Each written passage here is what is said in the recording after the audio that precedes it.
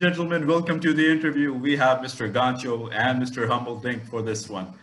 This interview is brought to you by GameKheyl, making gaming mainstream. My name is Naveed, also known as Barely Average Gaming. Um, our guest today, Mr. Gancho, he is the front man, the leader of Cage Rage, one of the fastest growing esports combat leagues in the world. And also we have Mr. Humbledink. He wears many hats. He is a commentator, he is a streamer, he manages stuff behind the scenes for Cage Rage as well. He runs a news channel. He does interviews. He does everything Johnny Sins can. So we have a great uh, line of questions. We have great things coming up in this one. Gancho, how are we doing today? Doing very well, Naveed. Hello, everyone who's watching the interview. I am Gancho, the owner of Cage Rage Championship, and looking forward to some good questions from GameKheyl today. No pressure there. Humble, how are we doing?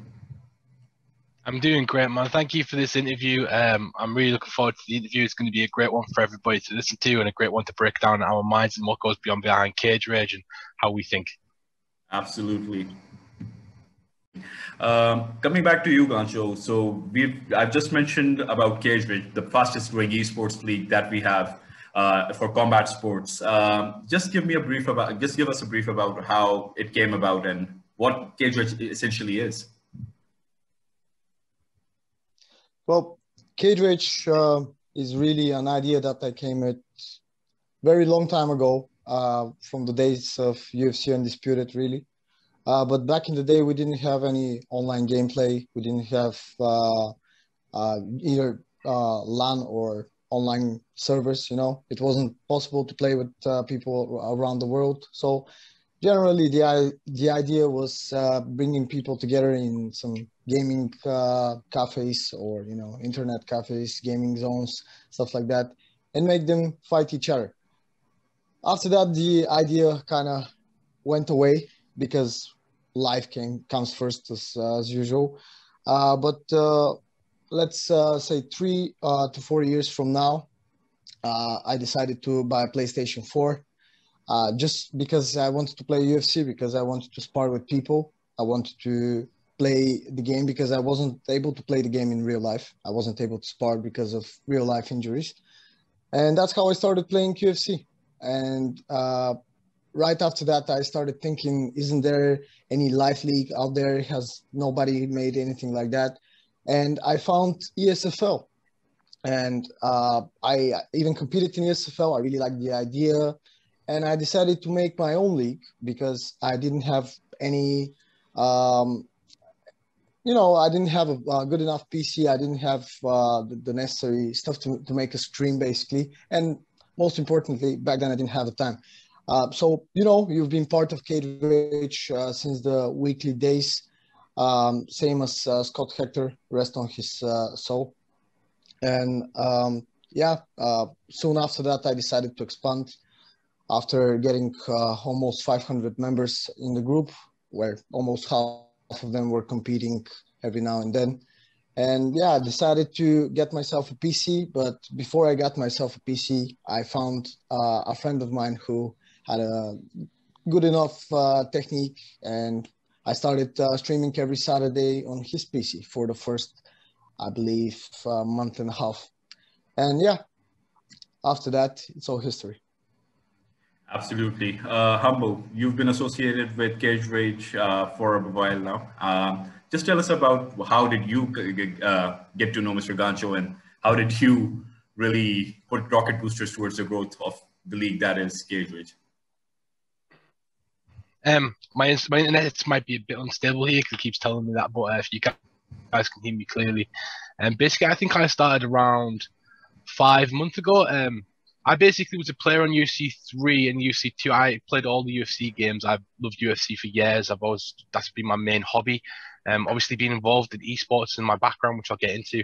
Um, I kind of played this game and didn't think there was really a market for it.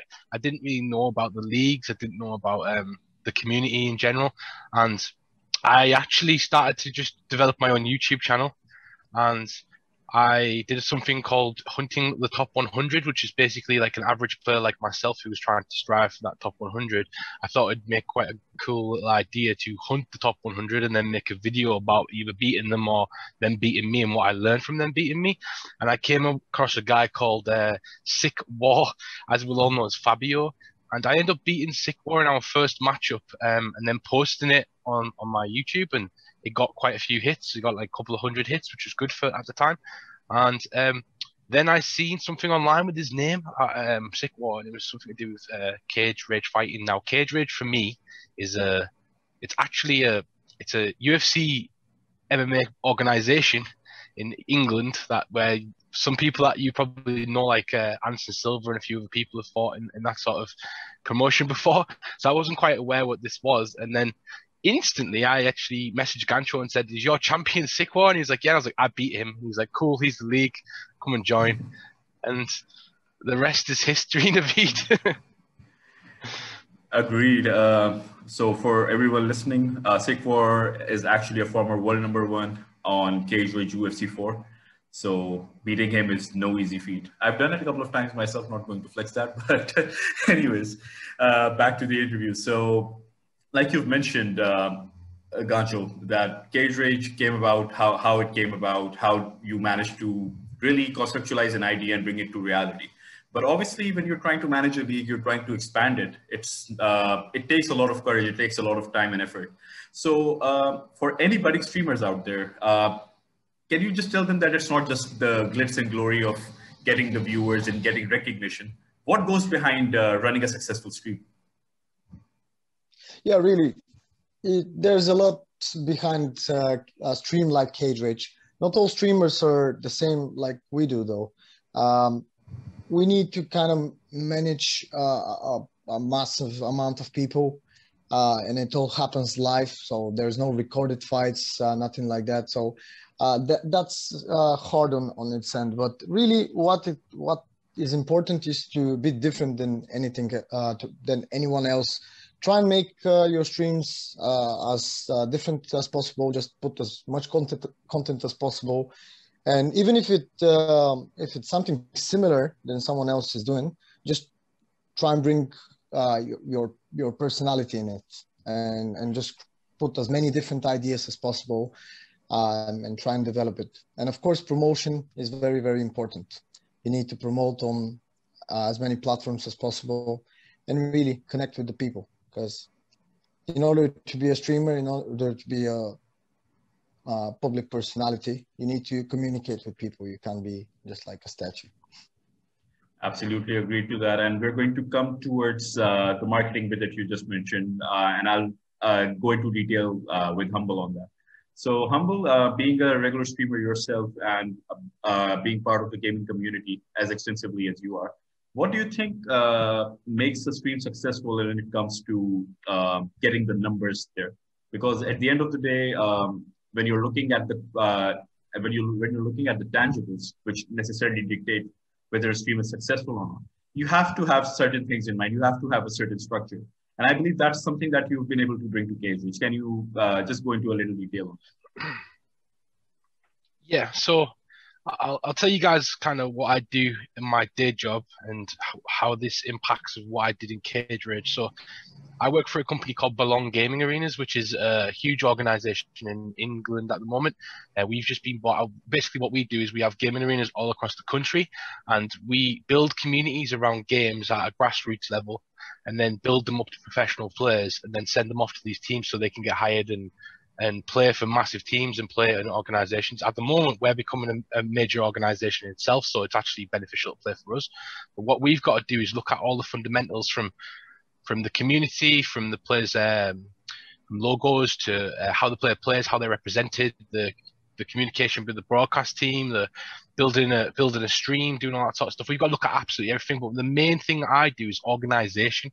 Um, when I came into Cage I, I, literally, I literally just looked at a few things and and seen there was um, there was some aspects of Cage that I could 100% improve, And when I came in, I basically started working with Gancho immediately on the on the broadcast team. We were talking regularly, and we just started putting plans together, and that's the key. Um, one of the things I really wanted to do with Gancho is make like a yearly plan of like what we wanted to do, like a goal in mind, and and, and really hit them, them them targets and achievements by setting plans and organizations. He already had plans, but the idea of literally planning each week, having something on a Monday, having something on a Tuesday, having something on a Wednesday, because this is involved. This is a voluntary thing for both of us. This is something we do for love.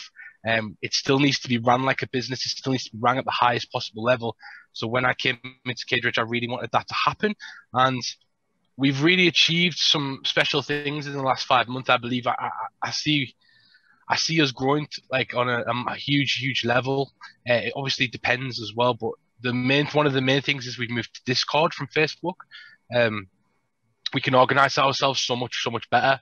We have stuff like fight chats. We've got stuff where we can talk to players and eat separate things. It's not all in one channel. So for me personally, the, the main thing I bring and the main thing that I, I kind of want to work on is organization. It's something my company does. I get months in advance of what I'm going to be doing for the next month. Um, if it's if it's sharing a new game that might be out, I already get that game. I already get the plan that we need to do. I get targets. I get achieves the achievements that we need to do. I get all this already. So adding that to Cage Rage can only make it better.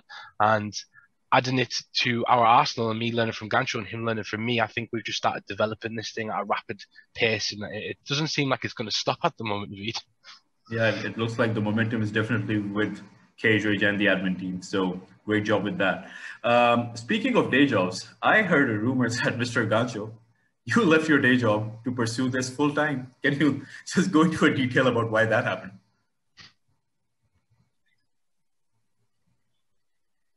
Yeah, well, I basically didn't like my job at, at first place. Uh, really, I mean, I enjoyed it at first because I'm a salesman but it kind of sticks in your uh, in your daily regime and all the same stuff doesn't lead you to a good place really. So pursuing your dreams is the best thing you can do really you know so I decided to give it a go. Uh, I saw uh, there's potential in Cage Rage. Uh, I saw that the more time I, I put into it, the more time I invest myself into promotion, making videos, just managing how everything works, works, um, putting ideas into reality. And, uh, it's just, uh, I, I see the development. So I decided to, why not, instead of doing it two hours to three hours per day, why not start to do it eight to 10 hours per day? And the result is, uh, is showing really. Um, another uh, big help uh, in that has Mr. Humbledink because um, it's like when when you're running a business or managing a certain organization, you kind of need someone with a similar way of thinking but critical way of thinking to make everything work. So I think uh, the fact that we're both critical to each other, but in a positive manner, helps us a lot because we share our ideas and then we kind of polish them. That's how it all works. I think there's one thing that is uh, becoming a recurring theme in this interview, and that is that when you're talking about making something successful, it requires extra effort um, and dedication in order to fulfill that. Because a lot of times you try something for a few days, a few weeks, and then you try to wing it. But in order to make something successful, you need to have two things, if I'm not wrong, and you can correct me. Uh, from Humble's perspective, you need to be organized, you need to have deadlines, timelines as to what you want to achieve. And from Gancho's perspective, you really need to put in the grind. And when you have those two things uh, at tandem, then you can really propel your growth and you can take the next step forward. So um, really good insights Absolutely. towards that. Um, okay, so the another thing that I would important. Yes, sorry. Sorry, sorry. Because the curve goes up and down in any type of business. Sometimes you're going to experience down. Sometimes you get you get a little boost from the universe. Uh, but in order to keep it going, there needs to be an equal amount of grind, no matter the ups or downs.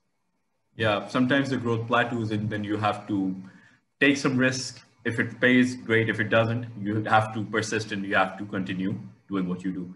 Uh, there's another venture that I've heard about that you guys have recently started. I've actually uh, visited that myself and I've really thoroughly enjoyed myself. I'm talking about the Stupid Monkey talk show. So, uh, Gancho, I'll start with you. How did that name came about? Well, we're stupid monkeys, bro. Me and Humble always joke around. you know that. I mean, it, it comes from a joke that came long time ago, uh, something that I said. And yeah, we're we're stupid monkeys. We do we do stupid uh, decisions every day, but you know, two stupid monkeys make one smart person. So we work like one very smart person together. All right, and humble. Uh, I've noticed yeah, that the you... stupid monkeys talk show is. Mm-hmm. No, no, no worries. Yeah, Sorry. Uh, let Humble explain how the Stupid Monkeys talk show works. All right. Okay. So, um, me and Gancho were talking a while back, and something that we realized the community really lacked, something that I work with in other communities, especially the Overwatch, League of Legends, other communities, is promotion. Um, one of the things that really is just really not around for the UFC 4 community, and we needed to grow. Is the um, a massive amount of promotion from uh, news? There's no news channels. There's no um, there's no people pushing players individually. There's no managers. There's no people like signing these teams and kind of managing them. There's no people signing these players and managing them. So we had an idea to start something. Um, one thing a lot of people do is they, they go into a league and they see they like this league, like a league, and then they think, oh, I want a league, so I'll try and do a league similar to Gancho starting his own all right? But one thing that I try and do is try and help build that. I try and add something to that that's going to be beneficial to that to that actual league itself or to that community itself, and that's where esports fight news came in because what it essentially does is it binds all the communities together. Um, ESFL, Cage Rage, UFL, Prime Time, these things we, we become uh, very useful to everybody, and we can kind of promote everybody, um, giving people results for esports league, which is massive, right? The mm. results for esports leagues is something that I've never I've never found it so hard to get hold of results. And I did until I started esports fight news the fact that we don't that everybody every league doesn't publish their own results, their own highlights, all this sort of stuff, it kind of baffled me at first. So why not do that ourselves and kind of do that? So we started esports fight news and we started doing that sort of stuff. But at the same time as doing that, we were running Cage Rage and we were growing rapidly. And I mean rapidly, like we doubled our viewership, I think, in five months. We were doing crazy numbers. We'd we'd gained um connections and networking with businesses and sponsors and all sorts of different things. And we are looking for more if anyone's interested. But we were we were basically trying to deal with all this at the same time as trying to run esports fight news. So we needed a more sustainable and um, effective way of kind of of doing esports fight news. So we decided to create the Stupid Monkeys Talk Show, which is basically a two-hour show on a Wednesday, which helps grow, which helps me grow my channel. So I've got a huge interest in this, and, and it helps Gancho grow his channel by in, in that, and vice versa. So we did this, and it's just two friends talking about different stuff. What we do is we essentially talk about the esports scene, and we talk about um, what's happened over the weekend. So people who are interested in UFC 4 can come here and literally learn about the esports scene, about because it's impossible to play every league, right, Naveed? You can't play prime time, you can't play uh, US, UFL. You can't play KJ. You can't play all these leagues at the same time because most of them run at the same time. Yet you'll be interested in them because people who you know or people that might be in your team, etc., might be in these leagues. So we're a place where literally you can come for that news and you can literally li- listen and learn about who's been winning, who's been doing well, how the performances well, um, who's at the top of the game at the moment. And as league owners and other people, they can come there as well and scout players. It's a great way to kind of do that. And then we have a little bit of fun. We talk about the topics that have happened over the week in the community. For instance, this week that we had, um, we had um, Dana White versus Jon Jones, etc. We had uh, Boxing Fanatical versus Martial Minds because the ESBC boxing came out. We, we, did a review on the esports boxing trailer. Um, in the future as well, we will be doing. We do have Baruch who does interviews UFC fighters. He wants to be able to put his shows on our show, so almost like a five-minute interview with somebody like Sam Alvey, uh, Randy Brown, a Cory Sandhagen, uh, these type of characters. So that will be coming as well. So we'll actually have interviews from esports fight news that are going to be put onto the Stupid Monkeys talk show, so people can watch them live. Um, and then we have a bit of fun and we break down the UFC that's coming up in the weekend and the news that's happened and our opinions, and we open up a bit and, and give out a bit of our personality because. As, as two friends and two stupid monkeys, I, I think we're entertaining enough to kind of keep people engaged for two hours, and uh, it's just fun for us to do, you know. So two eggs in two, sorry two uh, yeah two eggs in the basket there. We're trying to put esports fight news and stupid monkeys talk show together, give people the news, and that's what you can come and see every Wednesday night. So yeah. All right. So uh, coming towards the business of, of, this interview, just a couple more things. Um, I would probably start with Humble on this one. So I see a lot of streamers um, who are very talented when it comes to their content, who know how to speak, how to uh, be very presentable, are very good in, at engaging the audience. But one thing that they lack is promotion besides being live. So in order to improve your visibility to the audience, what would you suggest to them, depending on uh, whichever game that they're playing? Um, I suggest this to everybody, and I suggest it with anybody in any walk of life, in any sort of business. Find out who the best person is in your community. Find out who the best people are. Who are the who are the best streamers, and then look at other look at other channels as well. Other streamers in maybe Tekken community in uh, um, in Mortal Kombat, in other in other kind of similar lines, and what look at what they're doing. Look at break down write everything down that they're doing right how they promote even message them and ask them questions ask them how they promote themselves. Just try and find out everything you can about these people. Try it's the same with leagues as well. You look at everything they're doing and then what you do is you write down extra stuff that you could be doing on top of that. That's better and you try and implement that to your game. So for instance a lot of streamers only publish when they go live. They don't talk during the week. They they there are very some streamers don't even promote other streamers, which I find bizarre, especially with the audience of Twitch. Something I've realized as soon as I came in this community, you have to make yourself valuable, and by making yourself valuable, you've got to promote other people. If you promote other people, you become useful, and they also promote you. If you promote 100 people a week, how many of them are going to also promote you? Say 10, 15, 20. And if you've got 20 streamers that have got an audience of 40 people, 30 people, 20 people promoting you each week, then all of a sudden you've got, you're picking up little bits from everywhere. And you'll be someone like myself who literally went into streaming with Gancho. Um, I'd started my Twitch channel um, three weeks ago, two weeks ago, Gancho, two weeks ago, maybe three weeks ago. Yeah. And I hit affiliate in three streams. Three streams I hit affiliate.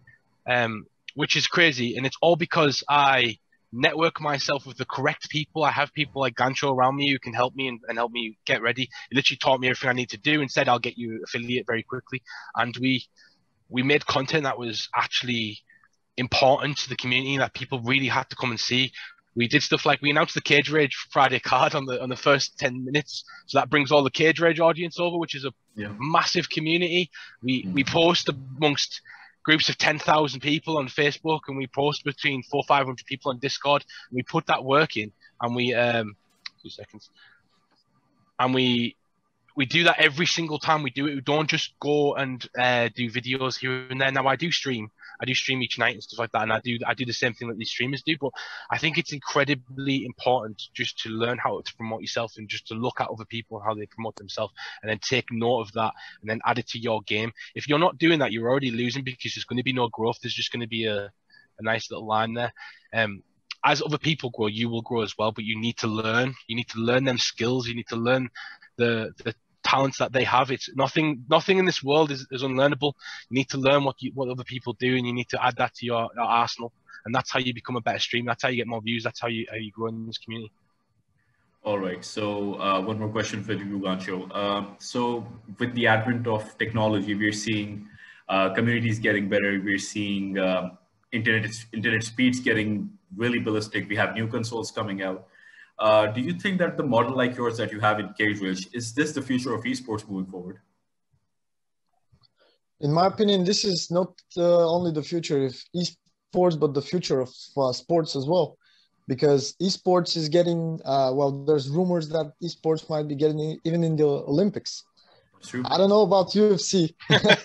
not sure about UFC. Uh, but why not get it there after 10, 15 years, for example? I think it's very possible. And you know, it, it's a very uh, useful thing, a very useful and, and uh, pleasant way to entertain yourself, uh, whether by watching such events if you're a fan of the game or a player, or uh, even participating in high-level uh, competition tournaments or leagues. It's it's super fun and you're safe. You're you're usually at home.